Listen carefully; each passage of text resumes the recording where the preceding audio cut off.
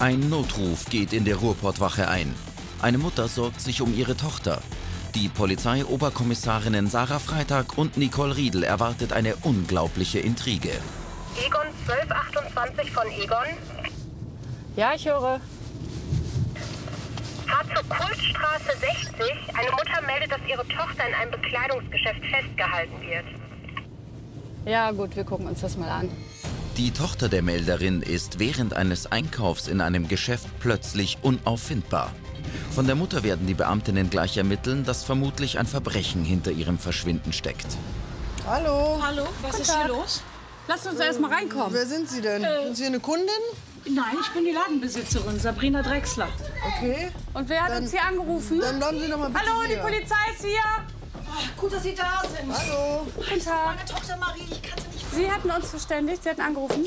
Ja, ich habe sie angerufen und wir haben uns das letzte Mal Okay. oben gesehen und ich, ich kann sie einfach nicht finden. Und da hat sie mir eine SMS geschrieben, dass sie, dass sie hier festgehalten wird und ich weiß nicht, wo sie ist. Haben Sie, wissen Sie Ich irgendwas weiß gar nicht, darüber? was hier los ist. Ich, woll, ich war gerade weg und wollte, Können wollte wir einmal einfach zusammen Gut, wir gucken jetzt einfach mal. Die Melderin hat bereits ihren Ex-Mann über das Verschwinden ihrer gemeinsamen Tochter informiert. Sarah Freitag befragt die Mutter zu der Textnachricht, um Hinweise auf den Hergang zu erhalten. Sie mir geschrieben, eine SMS, dass, dass sie von irgendeinem so einem komischen Kaufhausdetektiv hier gefangen gehalten wird. Ich meine, Von, von Mike? ich, ich weiß nicht von wem. Von, von meinen Angestellten? Ja, dann. Ja, dann Müssten wollen wir wir mit dem gleich mal sprechen. Ja. Ein Kaufhausdetektiv hat genau dieselben Rechte und Pflichten wie jeder andere Mensch, der hier lebt. Ähm, Das Besondere ist vielleicht bei Kaufhausdetektiven, dass ihnen durch den Geschäftsinhaber das Hausrecht übertragen werden kann. Das heißt, sie dürfen Personen des Hauses verweisen. Mein Angestellter. Guten Tag. Hallo, wer seid ihr denn alle? Wir sind die Polizei. Wer sind Sie denn? Ich bin der Privatdetektiv von dem Laden hier. Mike Hölscher ist mein Name. Sie haben sich verletzt, ne? Ja, das war ich. Erzählst du mir mal, was Was ist los passiert? Ja, ich habe äh, ein junges Mädel. Ich habe meinen Rundgang gemacht. Ich bin ja Ladendetektiv, dafür verantwortlich. Das ist schon dreimal passiert die Woche. Ein junges Mädel äh, beobachtet und äh, habe sie zur Rede gestellt wegen Ladendiebstahl. die Marie, meine Marie. Die Beamtinnen müssen zunächst ermitteln, wo sich das Mädchen befindet. Sie fordern den Ladendetektiv auf, sie zu der Beschuldigten zu führen. Mit der Gewalt, die der Mann angewendet hat, rechnet niemand. Was ist das denn, Marie? Meine Güte. Sagen wir, Wie hast du die denn gefasst? Also entschuldigen Sie mal bitte. So setzen Sie Mädel fest? Der Kaufhausdetektiv hat seine Befugnisse hier überschritten.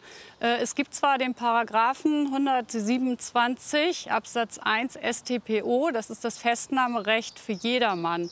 Also wer jemanden bei einer Straftat auf frischer Tat betrifft oder verfolgt, der hat das Recht, ihn festzuhalten. Er muss aber unverzüglich der Polizei übergeben werden. In diesem Fall ähm, hat er seine Befugnisse überschritten. Er hat das Mädchen festgehalten und muss hierfür das mildeste Mittel einsetzen. Ihre Personalien brauche ich auch gleich mal eben, ne? Gebe ich Ihnen gleich. Sie haben ja auch Haben Sie einen Ausweis oder irgendwas dabei? Ausweis habe ich im Büro von der Chefin, aber die Chefin Dann sagen Sie mir Ihren Namen mal eben. Das Ja, war Mike Hölscher, Mike Hölscher. hier ange fest angestellt. Wann Bist geboren? du, bist du sonst noch irgendwie 15.3., verletzt? 58. Hat er dich geschlagen, irgendwas? Oder ist das das Einzige? In Duisburg geboren oder wo? Ja, das ist schon extrem, ne? Also, Er hat mich beschuldigt, ich hätte irgendwas geklaut, aber ich habe nichts geklaut. okay. Ich habe irgend, er hat irgendwie so ein Zeug in meinem Rucksack dann gefunden und Wo ist denn dein Rucksack? Wo ist der Rucksack? Okay, wo ist der Rucksack? Rucksack von habe ich sichergestellt. Sarah Freitag will die Tasche des Mädchens auf Diebesgut inspizieren. Entgegen der Aussage der Mutter wird die Polizeioberkommissarin fündig. Ich habe hab gesehen? ich hab die junge Okay. Dame äh, beobachtet. Ich habe sie fünf Minuten beobachtet. Als sie durch die Reihen geschlichen ist, sich geduckt hat, weggeduckt hat. Ich habe überhaupt keine Ahnung, wie das da überhaupt reingekommen Und ist. als sie dann zum Ausgang, als sie zum Ausgang gegangen ist, am Ausgang habe ich sie festgehalten. Und Ja, dann ist sie aggressiv ich geworden, auf mich ich los. Haben Sie sich das mal angeguckt, was die, das junge Mädchen für Verletzungen verletzt? hat? Die Polizistinnen zweifeln an der Aussage des Detektivs. Dennoch wollen sie das Mädchen mit dem Tatvorwurf konfrontieren. Zunächst gilt es aber, die Jugendliche zu beruhigen. Jetzt hören wir ihm zu. Du bist verletzt, ne? Das ist total übel. Ähm, aber hier steht im Raume, dass du etwas geklaut hast. Wir haben hier in deinem Rucksack Sachen gefunden. Keine Ahnung, was dieser Idiot von mir will. Ich hab das... Jetzt mal Butter bei die Fische. Ähm, ist das so, dass du was weggenommen hast? Nein, natürlich Dass du nicht. vielleicht für irgendjemanden was klauen musstest? Ich hab genug Geld dabei. Also du sagst definitiv, du hast nichts gemacht. Nein. Ja gut, das ist ja auch dein gutes Recht und das klären wir hier auch. Diesen Kratzer, Ada, von dir? Keine Ahnung, wo er diesen Kratzer her hat. Natürlich warst du das. Als, als ich dich angesprochen habe auf deinen Diebstahl, bist du auf mich los und mit den Händen auf mich los. Hallo, ich bin der Vater. Ich warte, ich rufe dich die ganze Zeit an. Wo seid ihr denn hier? Sie wurde festgehalten. Das, Von das ist mein Ex-Mann, Jörg. Der Vater gibt sich entsetzt über den mutmaßlichen Diebstahl. Er wirft seiner Ex-Frau vor, ihre Tochter nicht gut zu erziehen. Den Einsatzkräften fällt auf, dass auch der hinzugekommene Mann leicht verletzt ist. Gibt es hier Videoaufzeichnungen? Weil ich sehe hier Kameras. Ja, das tut mir leid. wir Ich das habe das mit der Chefin besprochen. Das, das seit drei Tagen ist das defekt. Also- ich mach schon, ich mach schon Dampf. Also kann man das, auch vergessen, noch. ja? Also, und Sie haben Geht das leider nicht mehr. mit Ich habe hab sie beobachtet, ungefähr fünf Minuten lang. Wir konnten dann ja bei dem Vater feststellen, dass er halt diese äh, leichten Blessuren oder Verletzungen an der Hand hatte. Ähm, klar versuchen wir dann festzustellen, wo das herkommt, weil es könnte eventuell mit diesem Fall zusammenhängen. Und äh, der Detektiv hatte auch eine Verletzung im Gesicht. Muss man halt mal gucken, ob da nicht äh, das irgendeinen Zusammenhang hat. Ist halt draußen passiert. Am Parkplatz. Okay. Aber was hat das jetzt Ja, mit mir nee, zu ist tun? komisch. Die Nee, äh, ist einzigen halt beiden Männer nur- hier, äh, die hier sind, sind Ja, verletzt. die Verletzung habe ich nicht von ihm. Also habe ich hier von seiner Tochter. Natürlich. Ich, Aber sie hat nirgendwo Blut. Aufgrund der unprofessionellen und aggressiven Vorgehensweise des Detektivs überprüfen die Beamtinnen den Mann. Zudem lassen sie sich von der Ladeninhaberin seine Zeugnisse aushändigen. Die Ermittlungsergebnisse sind eindeutig. Ja, also der Mike Hölscher ist uns bekannt. Er ist wegen Diebstahls und Einbruchs vorbestraft. Ja, wann war seine letzte Tat?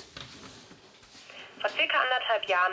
Der Kaufhausdetektiv hatte der Chefin eine, ein gefälschtes Führungszeugnis äh, gegeben. Hier würden wir bezüglich der Urkundenfälschung ermitteln und haben natürlich auch dieses Beweismittel mitgenommen. Das ist ja das, was Sie hier eingereicht haben, ne? Das ist Ich sag, da, nicht- gefälscht, ich, sag, ne? ich sag da nichts dazu. Sagen Sie nichts dazu. Okay, müssen Sie auch nicht. Aber das ist, Moment, das ist äh, auf jeden Fall gefälscht. Wir haben gerade eine Abfrage gemacht und Sie sind vorbestraft, ne? Möchten Sie was dazu sagen oder nicht? Ich habe meine Strafe abgesessen und mache hier einen guten Job. Naja, aber das ist ja trotzdem, das ist ja hier gefälscht. Ja, Also und so vertrauenswürdig sind Sie dann ja irgendwie doch nicht. Da Ne? kommt auf jeden Fall noch was auf Sie zu. Ich sag zu dem. Wenn Sie das hier schon Das nehmen wir fälschen. mit, ne? Wegen der Verletzungen beider Männer mutmaßen die Polizistinnen, dass der Detektiv mit dem Vater und nicht mit der Tochter aneinander geraten ist. Sie konfrontieren die beiden mit ihrer Vermutung. Also es nervt mich jetzt auch langsam. Mensch, Sie sind verletzt, Sie sind verletzt. Und Sie sind auch, ne? verletzt? Nur weil ich hingefallen bin, bin ich jetzt Nein, verletzt? Sie sind da oder? eine Hand, das ist eine morgen, da habe ich mir Schlaghandverletzung. beim Fußball schon Schlimmeres zugezogen, ehrlich. Ja, aber das, was Sie uns Aber gerade erzählt haben, ist doch sagen? Blödsinn. Was, so, was, was denn? Ich Dann beobachten. Sie beide sich die ganze Zeit so komisch. Darf ich mal? Das ist mein Eigentum. Ja, das darf ich mal? Ungern. Was hat Lassen Sie mich bitte Haben gucken. Sie da Lassen Sie mich bitte einmal gucken. irgendwelche Gegenstände drin, die von Bedeutung sind für den Fall hier? Die 500 Euro wecken bei Nicole Riedel den Verdacht, dass der Detektiv für etwas bezahlt worden ist. Um den Sachverhalt aufzuklären, setzen die Beamtinnen den Mann unter Druck und erfahren von einer unglaublichen Intrige. Was ist hier los? Ernsthaft. Ernsthaft? Das ist doch hier alles irgendwie Sie jetzt mit gefaked. uns, dann kommen Sie vielleicht etwas locker aus der Nummer raus. Ist wirklich Fragen Sie, mal, fragen Sie mal den Vollpfosten da hinten. So, gut, dann Was hat er Bitte damit erzählen zu tun? Sie. Was hat er damit zu tun? Was? Was hast du Was? damit zu Was? tun? Wieso darf der mich Vollpfosten nennen? Kann ich Das das Anzeige? Was hat er damit zu tun? Jetzt Also- rücken Sie raus mit der Sprache. Ich sag, Sie er, kennen sich er weiß das. irgendwie.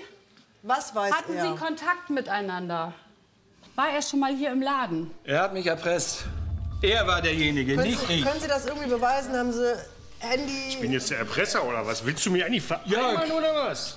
Du Dummschnuddel, was, was, du, du Dummschnuddel? Ja, was, was du gemacht hast? Was habe ich denn gemacht? sogar Du. mit Vornamen. Du hast mich, als du mich erwischt hast, Boah, halt doch bist du zu meiner Chefin. sind ruhig. Zu meiner Chefin. Du wolltest mich anschwärzen bei ihr, da hätte ich den Job sofort losgehabt. Ja, Und weißt du warum? Das, schlechtes Licht auf deine Tochter fällt. Es geht um Sorge, äh, Sorgestreit und Sorgeregelung. Nein, Das bleib würde locker. aber zu dem das Bild passen, was wir der. gerade noch Ich besprochen meine, haben. ihr ja, habt eben. euch doch anscheinend kennt ihr euch. Ich meine, geht es Ja, wirklich ist. um Sorgerecht? Ich hab, Mann, ich geht hab es hier den nur darum, um, um, die, um diese, um diese Darf ich mal reden? Sie haben ihn auch noch gefilmt. Also Sie haben Ja, ein Video okay, davon. ich gebe zu, ich habe den Affen Ja. da gefilmt, weil er Leuten zu Unrecht irgendwas in die Tasche Ja, steckt. das hätten wir dann auch gerne, das Video. Ne? Welches? Dann Ja, werden ich wir Ihr. Handy gleich noch mal mitnehmen und auswerten. Ich habe den auch, der war Lassen? so, so kooperativ auf der negativen Seite. Ich habe gesagt, eine halbe Stunde bist du da, sonst passiert deiner Tochter was. Und du bist sofort drauf eingegangen. In einer halben Stunde warst du mit fünf Hunis da. Und ich liebe Geld. Ich verdiene nicht das, die Kohle wie du. Ja, die Motivation des Vaters war natürlich ganz eindeutig. Die hat er ja letztendlich auch zugegeben. Er wollte die Kleine zu sich holen. Er wollte die Mutter dabei schlecht dastehen lassen, damit er äh, das Sorgerecht zugesprochen bekommt. Der Detektiv hat ja zum Schluss gesagt, er würde so wenig Geld verdienen und dementsprechend ähm, kann man davon ausgehen, äh, dass diese ganze Nummer hier halt wirklich, so wie er auch sagte, nur wegen dem Geldes wegen war. Er tut so, als wäre ich der alleinige Schuldige. Ich habe eine SMS, ist ja nachkontrollierbar. Ja, von dem sauberen Jörg. Ach hier. Jörg Flisken, bitte tu ihr nichts. Ich habe ja dein, ich hab dein Geld, ich bezahle ja, wo muss ich hin? Gibt's doch. Ja, wunderbar, wunderbar. So, Sie wir auch noch bleiben die Kontaktdaten von beiden. Gut, So, kannst du mal ähm, noch eine Streife nachbestellen? genau, sie werden beide vorgeführt. Ja. Es wird noch eine das denn? Vernehmung stattfinden. Da machen wir jetzt Ähm, auch gar nicht mehr lange rum hier. Ja, wir haben hier eine Reihe an Straftaten, die wir natürlich alle einzeln rechtlich prüfen werden. Äh, zum einen die Urkundenfälschung, die falsche Verdächtigung, das Vortäuschen einer Straftat, äh, die Freiheitsberaubung und äh, wie die ähm, Verteilung der Tatverdächtigen untereinander ist, äh, werden wir auch noch prüfen. Der Vater wird als Anstifter äh, für einige Sachen in Frage kommen und der Kaufhausdetektiv muss sich für andere Sachen dann als Einzeltäter auch verantworten, wie zum Beispiel für die Urkundenfälschung. Egon für Streife. Ernsthaft? Alle 14 Tage zu ihrem Aber Vater kommen. ernsthaft, Bitte. das ist eine Art und Weise. Pass auf, wer sie zu mir Ja, wir kommen gleich mit äh, zwei Vorführungen. Wir bräuchten für die zweite Vorführung so noch mal eine Streifenwagen zur Unterstützung. Äh, du kannst nicht, Bescheid so sagen, ausartet. wenn der Wagen vor der. Tür ist, dann äh, bringen wir einen schon mal raus. Der Vater wird wegen Körperverletzung und Anstiftung zu einer Straftat belangt. Der vermeintliche Ladendetektiv muss mit einer Haftstrafe rechnen. Aufgrund der Intrige des Familienvaters bekommt die Mutter das alleinige Sorgerecht. Mit ihrer Hilfe kommt die zu Unrecht beschuldigte Tochter über das Erlebte hinweg.